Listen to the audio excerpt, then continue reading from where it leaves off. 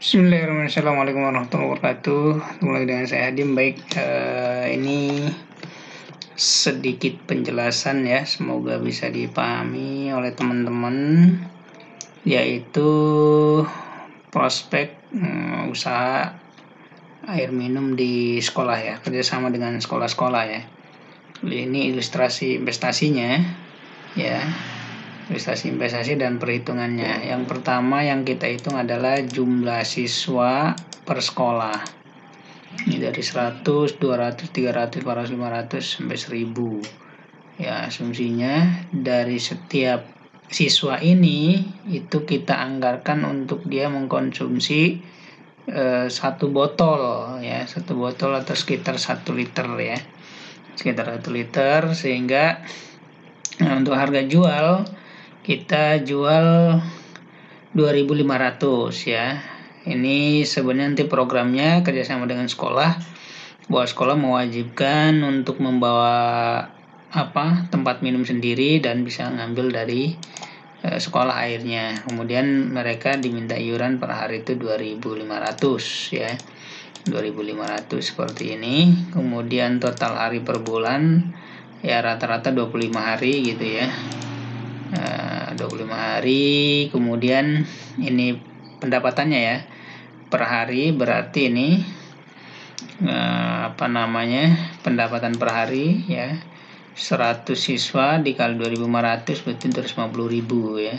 Kemudian pendapatan per bulan 6000 eh 6 juta 250 ke sininya sama ya tinggal dikalikan karena jumlah siswanya yang berubah sehingga ini membuat kita untuk e, memprioritaskan nanti ke sekolah-sekolah dengan jumlah siswa yang e, mungkin 500 minimal dan prioritas yang 1000 ya. Ya karena ini pengaruh dari jumlah siswa ya angkanya. Oke seperti ini ya pendapatannya. Kemudian biaya-biayanya ini kita hitung. Sebenarnya kalau misalnya tidak dihitung berarti ini tinggal menambahkan keuntungan dari sini. Ini kita hitung biaya airnya per botolnya itu kalau beli misalnya e, tankian itu 1100 kenanya totalnya. E, per liternya jatuhnya ya. Per botol dan per botol ya. Itu ada asumsinya dan kalau untuk e, 100 e, apa namanya e, siswa berarti 110 nah ke sini sesuai dengan ini ya 220 dan seterusnya. Kemudian untuk pegawai kita anggarkan 30.000 ya per uh, botol ya. Eh, sorry bukan 30.000 300 perak per botol ya. Jadi kita misalnya mengoptimalkan pegawai yang ada di sekolah baik itu sapam ataupun yang lainnya pembantu gitu uh, yang bersih-bersih atau yang lain kita anggarkan 300 perak per botol. Per botol ini tinggal kita kalikan ya ini 30.000, 60.000 sampai 300.000 mereka per hari sesuai dengan jumlah siswa. Nah sebenarnya untuk pegawai ini bisa kita rubah dengan misalnya kalau di angka 1000 ya kita rubah langsung uh, ke gaji aja sebulan 1,5 misalnya. Kan ini kalau 300.000 kali 25 hari itu kan gede banget ya gitu. Jadi bisa dirubah nanti. Tapi ini biar mudah kita hitungnya per botol ya jadi kalau ininya dirubah menjadi gaji per bulan kan berarti mengurangi pengeluaran kita nanti per bulannya. Kita hitung untuk seperti ini biar kelihatan e, lebih realistis dan lebih nyata nanti hasilnya bisa untung lebih besar. Kemudian penyusutan ya, penyusutan kita hitung dari modal mesin ya, ya dari modal mesin dengan modal galon dan yang lainnya penyusutannya kita hitung totalnya per bul per apa? Eh, per hari ya total per hari penyusutannya itu 33.000 nih per hari rutin ya. Oke, seperti itu. Kemudian nanti biaya lain-lain 10.000 per hari, kemudian total biaya 183.000 per hari ya. Ke sininya tinggal kita kalikan sesuai dengan jumlah eh, siswa. Ini kan tinggal kita jumlahkan ya. Jadi total pengeluaran atau biaya-biaya seperti ini. Nah, total pendapatan berarti ini 250.000 dikurangi 183.000. Ke sininya sama. Ya, 27 setengah dikurangi 1,43. Berarti total pendapatan per hari 67.000, yang ini 177.000. Yang ini 287.000 terus seperti itu. Nah, total pendapatan per bulan tinggal kita kali antara ini dengan jumlah harinya 25 hari ya. Jadi totalnya adalah yang ini 1,675. Nah, asumsi ya, ini pendapatan, asumsinya kita investasi itu 60 juta sudah semuanya ya sudah semuanya dengan garansi lima tahun. Investasi alat instalasi dan galon. Galonnya ini saya hitung 50 ya galonnya di sini saya hitung 50 kemudian uh, ini tingkat ROI nya ya ROI per bulannya ya dalam persen tuh 2,79 untuk yang uh, jumlah siswa 100 ya sehingga sebenarnya itu untuk jumlah siswa yang 100 kalau untuk jumlah siswa yang 500 itu ROI-nya 21,13. Nah, ROI dalam bulan ini 35 bulan lebih, 35,8 bulan. Yang ini 4,7 bulan yang ini. Jadi kita targetkan kalau untuk kerjasama misalnya kita yang memberikan modal, maka kita akan prioritaskan di angka 1000 siswa ya, sekolahnya. Maka ini balik modalnya cuma 2,2 bulan ya. Oke, itu perhitungannya. Itu perhitungannya. Sekarang kita ke konsep e, bagi hasil ya. Konsep bagi hasil itu maksudnya misalnya saya punya modal 60 juta. Ya kan? Kemudian saya mau menanamkan di sebuah sekolah dengan jumlah yang pasti saya pilih yang 1000 minimal dengan MOU dengan sekolah. Dan dia mewajibkan e, ini ya, iuran khusus air ya dan sekolahnya otomatis juga memiliki salah satu nilai plus untuk mengurangi uh, sampah plastik ya. Nah ini konsep bagi hasilnya pengelola dalam hal ini berarti sekolah ya, ya pengelola dalam ini adalah sekolah gitu kan. Dalam ini ada sekolah dan investor dalam ini berarti saya ya, berarti ini antara saya dengan sekolah. Jadi yang saya saya modal sendiri 60 juta ini atau e, misalnya kepala sekolah yang beli sendiri ya, mesin kayak kayak gitu di, bisa seperti ini jadi e, perorangan ya dia beli mesin sendiri kayak gini penghasilan nah ini bisa dihitung seperti ini 0 sampai 5 bulan ini full 100% masuk dulu ke investor sehingga karena balik modalnya 2,27 2, 2 sekitar 3 bulan lah ya dua setengah bulan Berarti ini kan si investor sudah untung dalam waktu lima bulan. Berarti kalau lima bulan itu kan tinggal misalnya yang seribu siswa ya, ini dikali lima. Nah ini dia udah dapat uang sebanyak ini. Sehingga untuk e, dikurangi misalnya dia modalnya dari 60 juta ya. Ini kan berarti dia sudah untung berapa nih dia.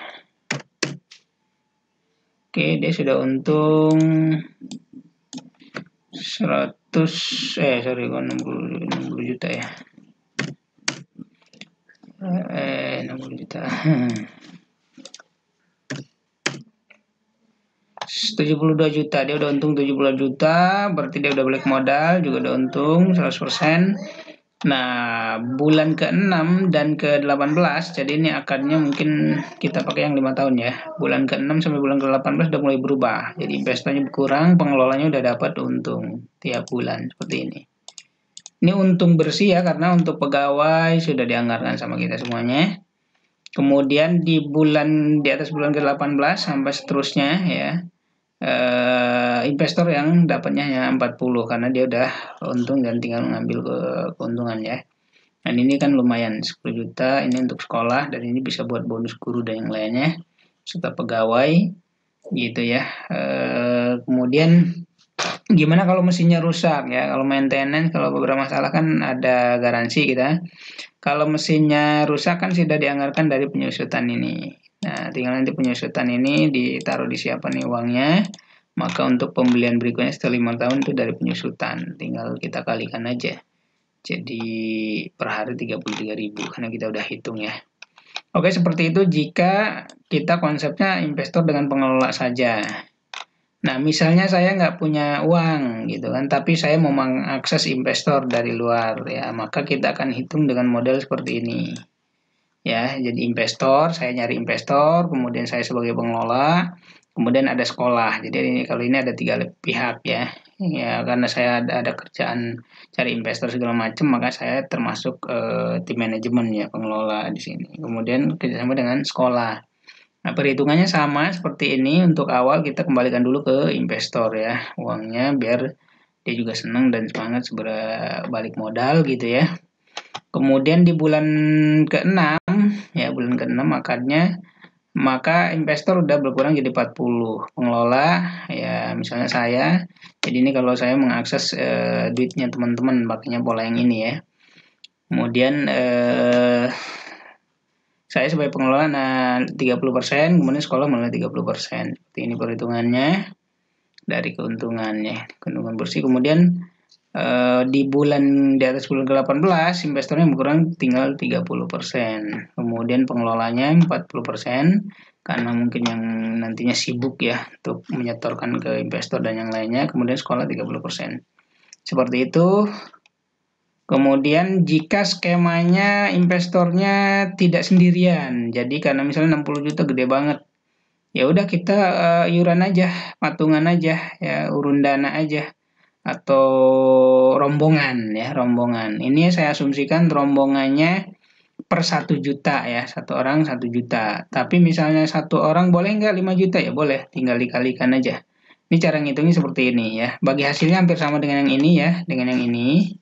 Kalau yang ini kemudian kita langsung bagi per uh, investasi yang satu juta itu. Jadi dia bagi hasilnya itu dikonversi dari proporsi modal namanya. Jadi jumlah modal kemudian diproporsikan dari keuntungannya. Ya, jadi ini tinggal dibagi 60 orang atau kalau 60 orang kalau satu orang satu juta ya. Kalau misalnya ada yang satu orang 5 juta tinggal kali ini, ini kali 5. Kita nanti bagi hasilnya seperti itu dan ini boleh ya dalam akad eh, apa bisnis boleh. Karena kita nggak bisa misalnya bangun bisnis sendiri maka kita urun dana seperti ini patungan eh, kemudian eh, pengelola mesin nol ini seperti awal ya. Jadi eh, apa namanya semuanya kita kasihkan ke investor dulu. Sampai balik modal. Balik modalnya sama ya. Makanya kalau yang pakai konsep investor saya pasti konsepnya nyari dulu sekolah yang mau MOU yang jumlahnya e, eh, 1000 siswa seperti itu. Biar kita ngejar yang ini, biar juga buat investornya untung banyak ya. Ya kita sama-sama untung nanti ya. Kemudian kalau yang model ini juga sama ya, jadi tinggal ditambahin di bawahnya ketika investornya tidak sendirian, maka bagi hasil bagi investor yang harusnya total segini maka dibagi per masing-masing. Ini kita asumsikan satu juta per orang. Jadi kalau misalnya ada tadi ada satu orang mau beli 2 juta berarti ini bagi hasilnya tinggal dikali 2 juta. Gitu ya. Kalau nanti berat untuk sendirian investasi 60 juta di sekolah. Gitu ya. Nah kemudian sama ini ke bawahnya sama ya. Jadi hanya proporsi bagi hasilnya aja. Kemudian ini juga tadi sama dengan yang apa namanya kalau tiga apa namanya tiga pihak ya antara investor, pengelola dan sekolah. Pengelola eh, dalam hal ini misalnya saya mencari investor ya atau kepala sekolah mencari investor ini pakai yang konsep ini. Ya, jadi kepala sekolah sebagai pengelolanya. Seperti itu. Kemudian ke bawahnya juga sama ya. Jadi ini konsep patungan aja. Jadi patungan kalau nanti tidak sanggup sendirian 60 jutanya. Baik, mungkin itu penjelasannya. Eh, utamanya sih cara kerjanya sebenarnya kita mencari sekolah yang memiliki eh, apa namanya yang mau kerjasama ya. Kalau dia mau beli sendiri sih jumlah siswanya nggak ada masalah ya mau berapapun ya. Tapi kalau dia misalnya mau apa misalnya saya mau kalau dia misalnya mau buka tetapi nggak mau modal kita mau modalin maka kita apa, kasih standar minimal ada seribu siswa ya yang mau MOU dengan kita sekolahnya. Sehingga kita uh, ke investor bisa lebih bisa mempertanggungjawabkan gitu ya. Gitu. Oke seperti itu.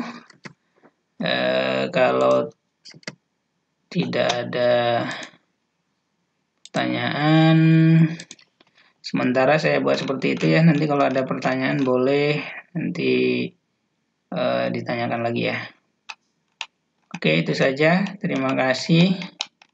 Dan saya mau kirimkan ini ke beberapa teman yang memang mau mengetahui tentang hal ini ya.